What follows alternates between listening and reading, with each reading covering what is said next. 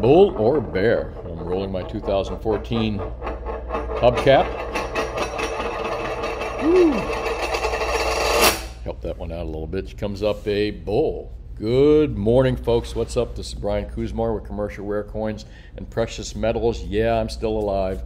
Uh, I got the uh, live Lauderdale by the Sea cam up here, and uh, what a beautiful sky out there. Uh, been hot as heck, though. We've been having like a, a 80s and 90s and 100 plus degree heat index, the whole nine yards. But uh, uh, still great to live in Florida, and uh, you know, not bad, not bad overall. It beats uh, freezing your ass off during the winter. Well, uh, I'm bringing back this quote. My quote last year was the quote of the year. I said I was going to retire it after a year, but you know what? It's it's so fitting for what's going on, and actually, it's very uh, fitting for what I discuss here um, in my uh, in my videos is about thinking for yourself and uh, questioning authority. It just doesn't apply to uh, governments, media, and uh, other things. It applies to everything in your life, including uh, uh, you know who you listen to, and that includes me as well. Always question me. Well, anyways, where was I for the last week? Um, I shouldn't say always question me, but always question authority on any subject. You know. otherwise, you'll never learn. And anybody that's in authority in a position of knowing things uh, shouldn't be afraid to be challenged, okay? Uh, all right, no less. Where was I for the last uh, uh week or last week? I was pretty much, I think it was Wednesday through uh, Saturday. I was at the Florida United Numismatist Show. Uh, I think this is the 68th Fun Show Convention. I was in, I don't know, somewhere right around here, somewhere up the front corner. and again, I was there from Wednesday to Friday. A lot of you coin guys out there ask me to tell you what's hot and what's not. Well, that, that whole uh, uh, PCGS and NGC old holder market. Now, for you non-numismatic guys, as soon as you see me flip to the next page, you may want to just fast forward this uh, through this. But uh, for you guys that collect coins out there and are uh, numismatic folks, coin nerds like me, um, the, the, the, holder market is just crazy. The first generation holders, those old PCGS rattlers, I think they've leveled off a little bit or going to soon for a lot of the common stuff. But the, uh, the more rare stuff in holders, again, we're not talking about rare coins, we're talking about the holders themselves. PCGS, you know, the early generation, first generation PCGS certified holders, uh, and some of the uh, uh more rare and uh, less uh, produced NGC holders, like the white labels and the coveted black labels. Um, and some of you that are even coin nerds are probably shaking your head. What's Brian talking about? Well, there's a whole collector market now in just collecting holders, all right? I thought it was kind of going to be a flash in the pan, uh, and it still may be a flash in the pan kind of thing. It's tough to say. I don't get it, I don't understand it, but it's kind of a subset or sub collectible of the coin market because these guys are buying what they consider rare coin holders irrespective of what the coin is inside them. And to give you kind of a clue what's rare and what's not, especially when it comes to the old PCGS rattler holders and uh, some of those older holders, is uh, imagine certifying a coin that didn't really need to be certified, or not many people would have certified. Common coins, uh, circulated, believe it or not, a circulated uh, uh, Jefferson nickel.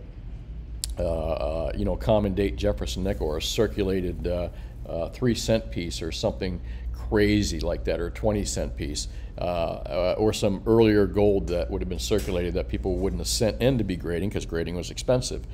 Since very few of those items were ever sent in, there's a low population report on these holders.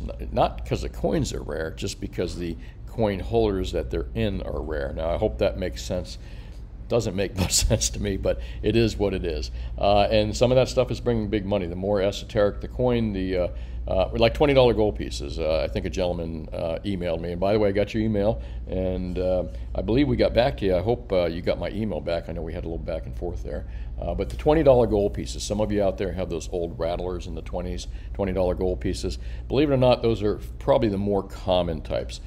pound for pound, and I'm not saying that the uh, uh, uh, again a circ Jefferson nickel or a circ Buffalo nickel was going to bring more money than a twenty dollar gold piece in an old rattler, percentage wise. To what the reality of what the coin is, it's going to bring a lot more money. Okay, so the 20s are really fairly common, as are 10s and 5s and some other, and silver dollars are fairly common to some degree. Uh, but uh, uh, it is, as of right now, still a real market. There's guys out there running around that floor uh, paying big premiums for that stuff. What else is hot in the numismatic market? Um, same old stuff. Fresh deals are hot, so any uh, cool coin deals out there, uh, uh, fresh coin deals are, are, really hot out there. Uh, I just, one of my customers out there just brought in a, a great collection for uh, us to sell at the show. Uh, so that was, we were pretty busy with that at the show as well, getting some good activity on that, and I suspect we're going to be getting some good sales on that at some point too. Uh, but to get past me, me, me, uh, the show in general was busy as hell. Lots of public traffic in there. I was really impressed with it. Lots of money changing hands. Uh, not a lot of bullion sales. I was surprised I didn't do a lot of bullion sales. It was really all rare coin sales primarily. And people were just eating up anything new or any fresh deals that were available out there. Um, besides the plastic holder market, the uh, uh, 20s and US gold wasn't real hot, but early gold, uh, early type coins are still hot. Um, a lot of, uh, uh you know, commems are still not hot, US commems, unless they got super nice toning. Tone stuff is hot. But, you know, this is not really a coin video, uh, so let me move into precious metals. And a lot of guys have already fast forwarded through here, so let's take a look at metal prices this morning and uh, what we got going on. Uh, about the same as yesterday, hovering about the same. Platinum down just a tiny bit at 460, uh, but uh, I think platinum has been a tell for a little while now when it's made some uh, big moves to the upside or decent moves to the downside. Uh, when the other two metals have done just the opposite, I have found the other two metals have followed platinum. Maybe it's just a weird coincidence, but uh, again, I've seen platinum as kind of a tell before either markets have moved up or down. Uh, and if you've been watching my videos, you'll understand what I'm talking about. Gold currently at 1978. Uh, 1978-17 and silver at 25.22, holding on to that $25 level pretty good. We got a little Ted Butler article I want to talk to you about here in a moment. Uh, high of 1980, a low of 1973, so we're kind of range bound right there. But silver again holding on to that $25 mark pretty nicely as of right now. Again, we're going to get into uh, what's going to happen to silver here, possibly uh, with the Ted Butler article that came out on the 15th. Uh, and you can read it for free, actually. It's an article he published, and I'll show you how to read that in a little bit. But uh, platinum, again, sub $1,000. Um, remember, same old nonsense in the silver and, and probably platinum markets of uh, just, uh, it, it's not a, a, true supply and demand market. But let's move past that. Again, that's just a, a topic I'm so tired of talking about. And for you new folks that have been uh, just kind of tuned into me or haven't watched my videos before, you, you're probably asking, so why own gold and silver? And some of you old, older folks out there that have been watching me for a while too, got to be a little disappointed when you're thinking like, wow, gold hasn't really gone up dramatically or silver hasn't gone, gone up dramatically. Uh, but I'm going to challenge that thought. I'm going to tell you that well, dramatically, that's that's a matter of opinion and uh, perception. But uh, uh, gold and silver has done quite well, uh, even in these periods where we felt it's kind of well, mostly gold, I should say. Uh, silver is uh, holding its own at these low, stupid levels, but I think silver again artificially way lower than it should be. So why do you own gold and silver? Well, the simplest thing I can point to, folks, and again, dollar, the U.S. dollar index. Now, I'm going to look at the dollar index uh, of all time. What does the dollar index have to do with the price of gold? Well, we'll get into that chart next, and you probably see it up here anyway. Uh, but uh, I don't know why they go, don't go before 90, but you can see that the dollar has had its highs, its lows, okay? And uh, look at my cursor right here. This is what the dollar is doing overall, all right? You got that choppy movement uh, uh, uh, up and down a little bit, up and down. But if you were to stretch this out over the long term since 1913, this is what you'd have. You'd have a chart that was just choppy in motion with a lot of ups and downs uh, in our lifetime, in a couple lifetimes before us. So if you had a, a lifetime chart of the US dollar since 1913 when the Fed kind of took that thing over, your chart would look like this, except more of a steeper angle downward. Meanwhile, what does gold chart look like in that same period uh, from 1913 and above, especially since Nixon took off the window? Uh, and we'll just use from 1970 and above primarily. This is what the gold chart has looked like uh, from 70s uh, till now. And you can probably say even before then, but much more tepid uh, uh, charts before that. I shouldn't say tepid, but flat line charts. But this is what gold's done right here. A lot of choppy up and down motion, but overall, gold is still, you know, gold started in the hundreds, 200s. What you have seen here, folks, is just, you haven't seen the price of gold and silver climb dramatically because of supply and demand issues. And remember, there's really not much supply issues with gold. I've got to separate silver out a little bit. There's big supply issues with silver. Uh, but gold, there's plenty of gold out there. But gold is used by central banks. Gold is coveted by central banks. Gold is coveted by the elite, the billionaires out there. Don't let them tell you they're not. Just think about what central bankers hold in their vaults and what a lot of countries hold in their vaults. And we're going to get into that as well. And again, I'm giving you reasons why you need to own gold and silver. Because while this chart is going down over history, again, that choppy movement down, uh, down to, uh, I guess, the base, which would be zero at some point, uh, gold and silver continues to climb. Uh, another chart that I can't seem to make heads or sense of is the Fed balance sheet versus gold price. So if you, some of you guys want to comment, please make some comments out here. But uh, you would suspect with the huge, all right, uh, the blue the blue line represents the Fed, and the gold is uh, obviously the orange line. Here's your first 2008 financial collapse. You can see the Fed's balance sheet shot up dramatically, almost 200% at that point. But boy, we are way beyond that. Prior to that, you can see the price of gold going up, and that's since 2005. Again, look at this. It's almost like hmm, gold was kind of uh, uh, uh, uh, recognizing what was going on. I don't know. I don't know how to explain that. But gold was making big moves even prior, uh, and that probably has a lot to do with uh, I don't know. Well, it's not anything to do with the Fed. Uh, has to do with the decline in the buying power of the dollar. I'm sorry. Uh, the CPI, the Consumer Price Index. You know, uh, this thing right here. Uh, purchasing power of the consumer dollar in the U.S. city. By the way, believe it or not, I got that set to one year. That's a one-year chart, folks. That's pretty dismal. Uh, that's that that is going that's going to hell pretty damn fast. But uh, uh, the, the the balance sheet's a whole different thing has nothing to do with the CPI right here, more or less. The CPI is the buying power of your US dollar. But you would think that it would have a direct impact, the balance sheet would have a direct impact on the amount of dollars floating around there and the amount of inflation, but uh, or, or in the price of gold going up dramatically. But take a look at this. Kind of about the same here. You see gold and uh, the Fed chart are kind of going up in hand, but all of a sudden, right there, 2000. Uh, 13, things digress there dramatically. Um, now, is this because of manipulation in the gold markets? Now we know the silver markets are manipulation. I manipulated uh, frequently, uh, but I don't know. Uh, but take a look, clear separation in these two lines. Fed balance sheet starts to climb dramatically up to about what 500 percent Wow. Uh, but then backs off here. But gold through that whole period, very tepid, not much going on until 2020 when the, when the balance sheet of the Fed just explodes right to the upside. You can see it's coming down here. But folks, you can examine these uh, things yourself. My, my thing is just take a look at why is gold and silver going up and why it's going to continue to go up. Um, look at the dollar index. Just look at that over a period of time.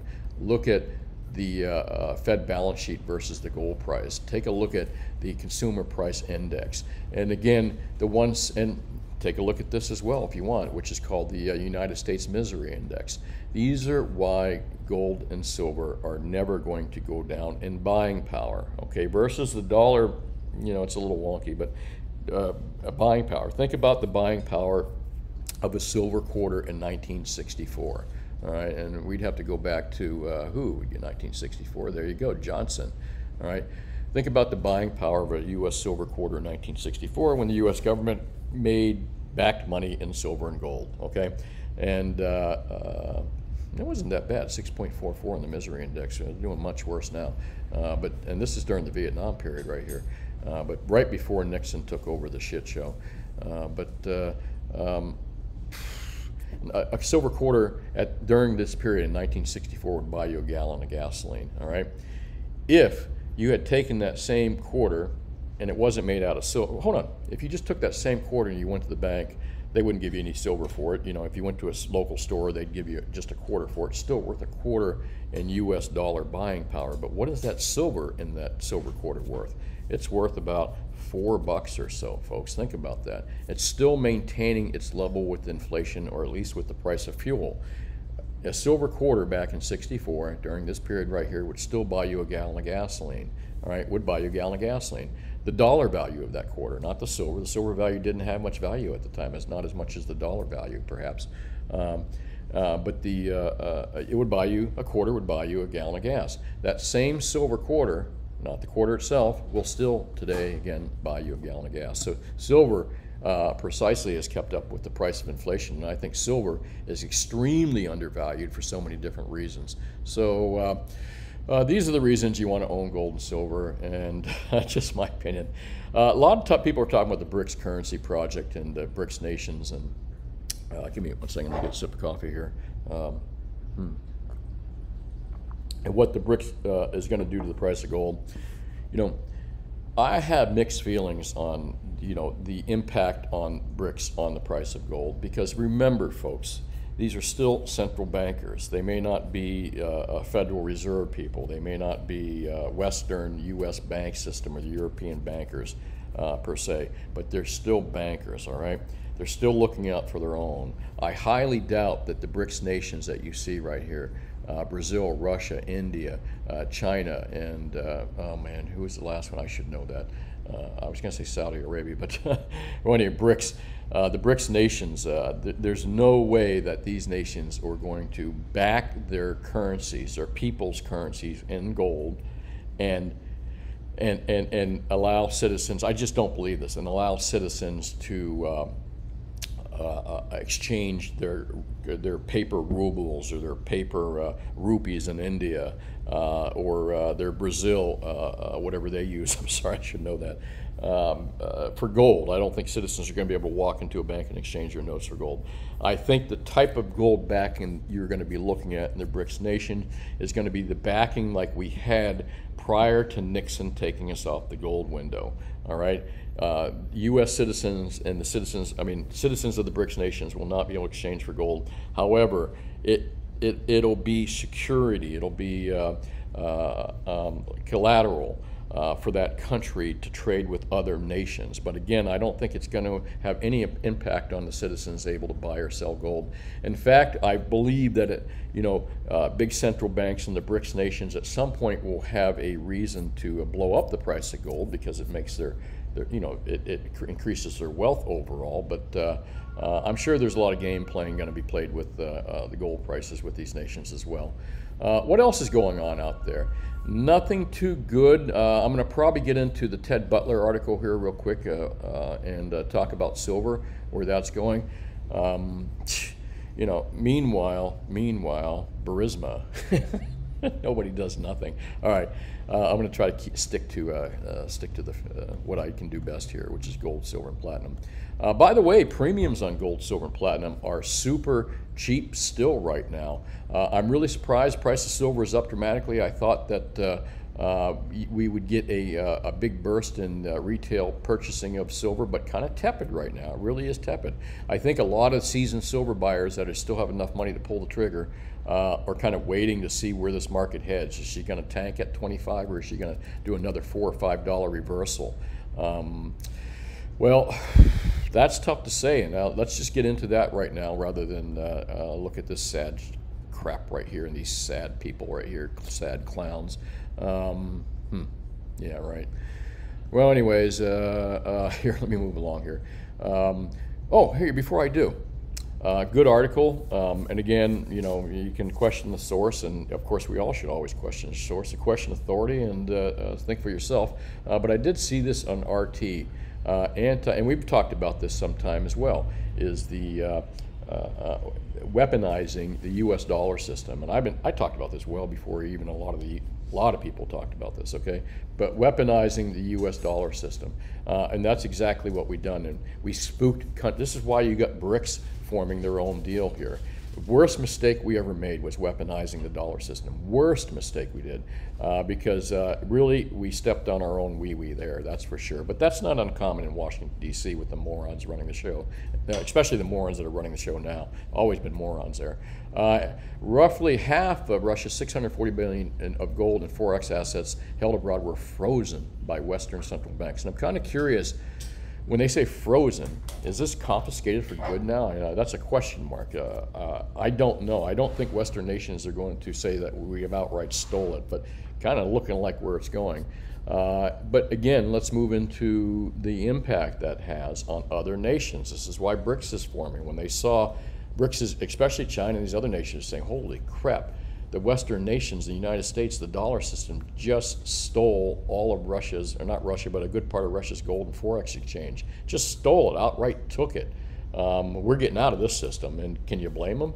Uh, an increasing number of countries are bringing home their bullion reserves in the wake of unprecedented sanctions imposed by the West on Russia. Reuters reported on Monday, citing an Invesco sur- survey of central bank and sovereign wealth funds.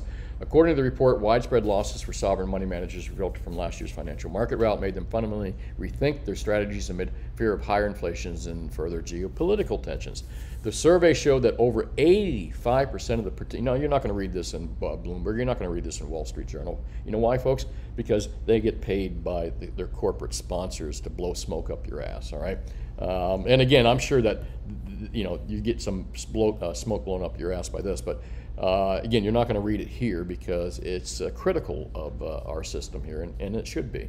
Uh, the survey showed that over 85% of 85 sovereign wealth funds and 57 central banks believe that inflation will now be higher in the coming decade than the last. A substantial share of central banks were reportedly concerned by the precedent set by uh, sanctions on Russia, including 60% respondents said it made gold more attractive. It's a good thing for us, folks. 68%, and why shouldn't they? You know what I mean? But uh, again, they want to keep you in fiat. Why they're the same thing that the BRICS nations are going to do. They're going to keep their people in paper Why they back their shit in gold, all right? Their trades in gold, you know, cover their asses. Uh, 68% were keeping reserves at home compared to 50% in 2020. And again, you can't blame them.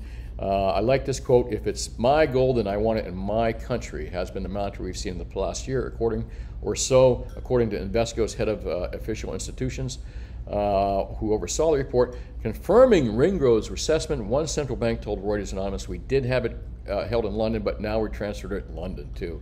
There's the biggest crooks in, in the world when it comes to uh, uh, uh commodity exchanges and financial corruption, besides the COMEX in the U.S. but again, I, I digress. Uh, now we transfer back to our country, hold it as a safe asset, and keep it. That's why you own gold, folks. You, know, at one time you could trust the United States to hold your gold for you, but uh, I said one time, didn't I? Uh, and, and, and, and you could never trust the, the uh, British system. I'm sorry. UK's been uh, fell way before the U.S. empire did. Uh, nearly half of Russia's 640 billion worth of gold and forex reserves were frozen.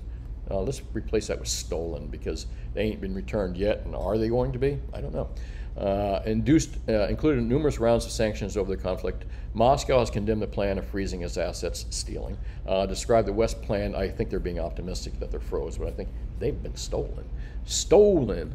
Uh, described the West plan to expropriate these funds as theft and a warning of retaliatory measures. There you go, the word use of the word theft, and that's exactly what it was. The Invesco study showed that geopolitical concerns combined with opportunities emerged, blah, blah, blah. Okay, get out of that. Good article. Um, and uh, again, you're not going to read this in any mainstream U.S. or European reporting. Why? Well, because it tells you the truth. And sometimes even our enemies throw the truth at us because they know it hurts. hurts more. Uh, Ted Butler, Code Red in Silver Futures. You can read this for free on gata.org. Uh, I highly recommend you do. Um, let me just kind of get over some things here uh, real quickly. Again, you can read this article for free. This is a subscribe site, but Fred Hedge, uh, I mean Fred, Ted put it out there uh, about a week ago for public consumption. So I'm going to just share a few things in that article that you can read for free. Uh, one would think I'd be ecstatic about the higher move in silver over the past three days since it appeared to behave. Now, this is last week, folks, when we've seen it move up to the $25 range where we're kind of sitting today still. Uh, as I've been expecting, lamely erupting higher out of nowhere. Uh, and I'm going to kind of move along here.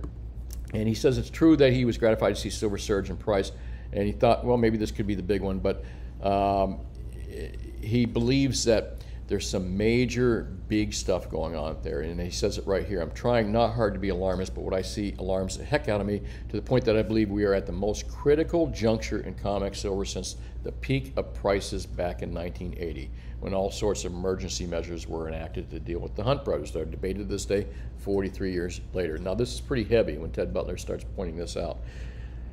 This article's about a week old now, not quite a week, on, 16, uh, 15, 16, 17, 18, 19, I forgot what today's date is, 19. No, it's four days old, so I mean, uh, we got Friday coming up here, let's see what happens. Uh, and Ted says, I recognize that what I postulate today may turn out to be completely wrong, and I like that he does that because it's very, you know, a lot of times, you know, you can't underestimate or overestimate these crooks in the com- COMEX markets. You know, with the amount of money they have, they can do whatever they want. Usually, uh, again, it's always going to be to their own benefit, but uh, sometimes it's hard to read uh, their chess moves a couple, you know, well, maybe not. uh, I postulate may turn out to be completely wrong, uh, personally embarrassing, but my reading of the data strongly suggests likelihood of a disorderly market dead ahead in COMEX silver futures. Again, this is a couple days old, folks, in which I urge the regulators to take immediate emergency measures. Um, and that's pretty heavy stuff. Again, I encourage you to read this article. You can read it for free I'll, on gata.org. I'll go back to that link for you. Um, and uh, he's not clear whether the disorderly market conditions he sees dead ahead will result in a sharp sell off, as much as four or five dollars. Uh, and again, this is interesting, folks. Uh, a sharp sell off right now would put us back into that $20 range, $20, $21 range, or an explosion on the order of $10, $20 or more, uh, uh, or both following a sell off. Uh, but anyway, there's some really heavy stuff out here. Ted Butler calls code red emergency uh, in the COMEX markets uh, after running through all the data here. Um, again, it's an article that I want you guys to read yourselves because I'd be sitting here for about 20 minutes going over everything. And uh, uh here, one second, let me kind of get to the bottom and see what I'm talking about. It is a long article, but it's worthy of a good read, folks. And uh, here we go. Um, trading in silver and COMEX and shares and other things. There's some big stuff going on out there. I'm not trying to be cagey describing the manner when no appear to be correct. I'm motivated. Uh, first, the changes are related to the pronounced ongoing physical silver shortage. Okay, that's what he's talking about here. Uh, starting with the new shortage report on securities. Um, folks, again, I'm going to really please encourage you to read this article because I think Ted Butler is exactly right. I think we're going to see either a huge move to the upside or a, a, sizable move, huge move to the downside potentially based on the data that he's looking at, what's going on with the shortages out there. Uh, more, uh, uh, uh, uh pardon the language, but fuckery going on in the COMEX, CRIMEX markets uh, with the silver markets right now. Um, and a lot of confusing things. I'm really curious to see what happens this Friday. Do we maintain to this $25 level? And more importantly, Monday, do we maintain this $25 level or are we going to see a big move to the upside or downside. And I believe Ted's normally right on this. Um, again, uh, very technical and long article. I wanted to start reading some of it to you, but I know we'd be here forever. Please go to uh, gata.org, type in Ted Butler, code red, and silver futures. Uh, and actually, I think all what they're going to do is they're going to take you to silverseek.com, and you can find it there. Uh, code red by Ted Butler, July 16, 2023. Read it, please do. Uh, I think we're going to see some big moves to the upside uh, or again, downside as Ted talks about right here. All right, folks, that's it. I'm going to roll out of here. I got a lot to do. I'm glad I got a video done. Uh, and again, at some point in my life, I'll try to get back to some real consistency on a daily basis with these. Thanks for following through with me. Hey, if you don't happen to catch me uh, on this particular social media uh, uh, uh video channel, you can catch me on this social media channel. And probably the reason you wouldn't catch me in the other one is, well, the reason you find a lot of people get booted. you can also catch me, listen, uh, it's hard for me to take phone calls here, right? But if you're on this particular format, I believe it's a great free speech format, which is uh, uh, Twitter. Uh, please find me out there. There's my name. There's my uh, uh, tag at Brian Kuzmar, Brian Kuzmar, uh, and ask me questions out here as well in the com- in the comment section, and I'll try to get to them. Oh, that's what I didn't do today. Didn't answer the comment section. Uh, I'll try to do that uh, tomorrow, folks, or my next video here. I knew I first forget something. I'd like to acknowledge everyone that watches my videos. I really appreciate it. And as I said, if you're looking to buy gold, silver, platinum, and you live in South Florida, we have a brick and mortar. We're open 10 to 4 Mondays through Fridays. We'll beat the locals. We'll beat APMEX, SD, and JM Bullion. Uh, and if you live outside my area and outside my region, and you can't find a good local dealer that's competitive with those guys, give me a call and I'll see what I can do for you. We really don't do much in smaller quantities, but if you're looking to buy a larger quantity, maybe I can help you. Uh, that's it, folks. Brian Kuzma with Commercial Rare Coins and Precious Metals. Signing out. Thank you for watching. Have a great day, and I'll talk to you tomorrow. Bye now.